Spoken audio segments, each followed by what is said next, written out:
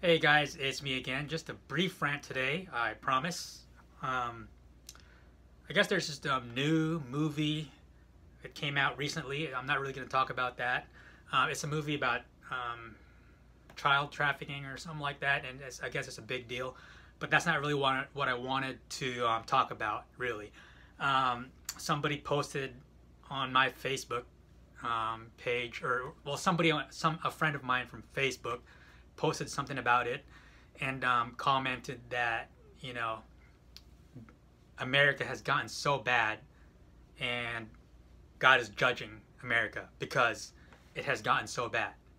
Well, um, you know, that sounds like you know this that kind of comment. It doesn't seem like there's really anything wrong with that, and um, I really don't necessarily disagree, but actually I sort of do. See, when people say that God is judging America, it implies that there's some sort of covenant between the Lord and the United States. There is not. There absolutely is not. All of God's promises to Israel are Israel's alone and cannot be applied to the United States. Um, absolutely not. I know a lot of people try to, but no. They try to glorify the United States um, as though we're this beacon of light that the Lord looks upon favorably. Do not flatter yourself. Stop worshiping this country.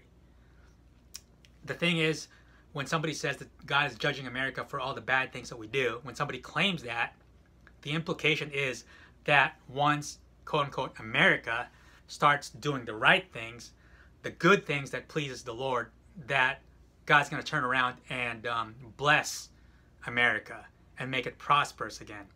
So my point is, these people who, who say these things that God is judging America, you think they mean well and they want the United States to turn around and repent and all that.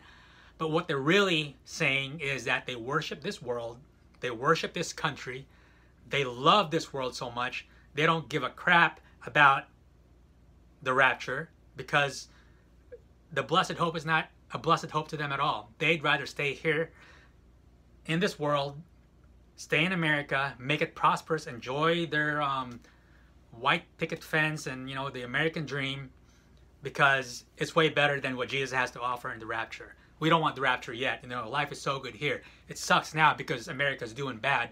But you know, if if America as a nation repent, then God's gonna bless us and everything's gonna be fine again. Where everybody's gonna be happy. Everybody's gonna be prosperous. Whatever. No, that's not how it works. Stop worshiping this world. And you know, this video is not really meant for those people who say that, but it's meant. Um, um, this message is for is meant for those of us who are truly looking to the Lord's appearing. We're looking for that rapture to happen soon because we know that that is our only real hope. And I'm making this video to try to encourage each and every single one of us who do belong to the Lord and want to be out of here soon to um, not be bothered by pretend Christians who say things like that like, you know, yeah, God's judging this nation. We need to repent so God will bless this nation again. No, there's no blessing this nation again. And as I've mentioned before in previous videos, maybe even my last one, what the heck does it mean for God, for, for America to turn back to God? When was America ever God's or whatever? When did it ever, when was America truly a godly Christian nation? It never was. I mean, how can you even define that? Because there's no such thing. You can't define that. What makes a nation a godly nation? Is it a certain percentage of the population being Christian? Is it the leadership being Christian? I mean, how do you really define it? You can't. And please don't.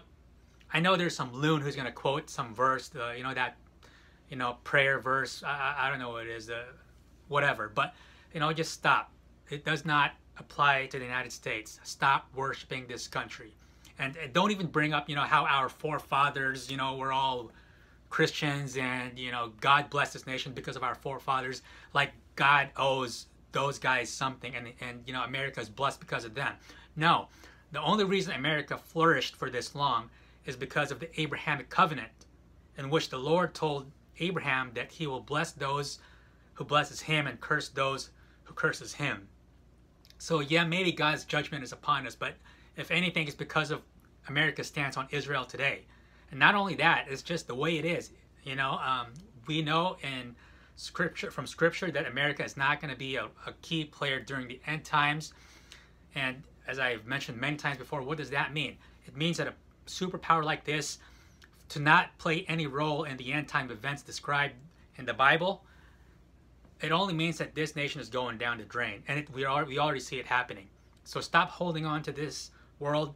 Put your eyes on the real prize, which is the blessed hope. Jesus Christ. Get saved. Put your faith in Jesus. Stop worshiping this world. Stop clinging on to it.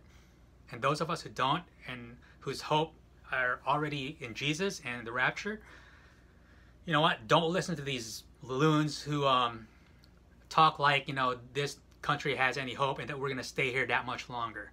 I know they're, they're only trying to take your hope away, our hope away, because they love this world so much. Don't listen to them. Okay, so, um, yeah. Yeah, America is not Israel. So, um, you, you can't flatter God into blessing this nation. And um, if you care so much about your life in this world and you, you, hate to go to the rapture because it'll mess up your worldly plans, you can rest assured that you're not going to be part of the rapture. No, the rapture is not works based. But if your heart is so set on staying and staying in this world and clinging onto it, and the rapture is a bummer to you, to me that indicates that you're not really born again because you have no desire to be with Jesus and you'd rather do all your whatever great plans you think you have left in this world than to be caught up in the air with him and get your new glorified eternal bodies you know because nothing will beat that and being with jesus for eternity. If you think anything's better than that you're not saved. And i've been saying that forever. So um yeah those of us who are really saved and are looking for his appearing just keep looking up. Don't listen to these people who worship this country.